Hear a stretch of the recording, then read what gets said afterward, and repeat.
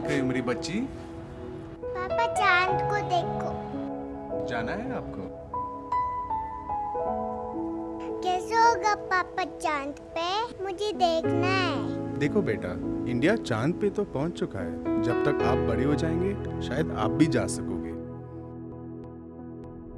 The moon the special object that has captured hearts and imaginations for as long as we can remember the key to our past and the way to the future.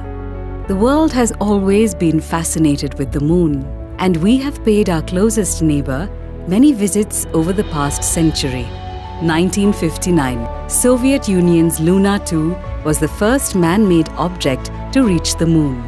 1966, Luna 9 made the first ever soft landing on the moon. And in July 1969, the world held its breath as Apollo 11 became the first manned mission to land on the moon. It's one small step for man, one giant leap for mankind. Between 1969 and 1972, 24 people traveled to the moon, and 12 of them could come back to tell us what it was like to stand on new ground. And as we watched all of this in awe, we knew we had to leave our mark too.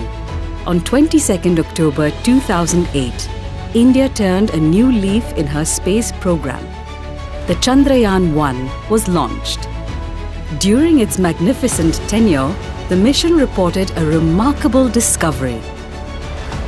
We found water on the moon, and nothing was ever going to be the same again. Chandrayaan 1 gave science a whole new perspective, drawing attention and awards.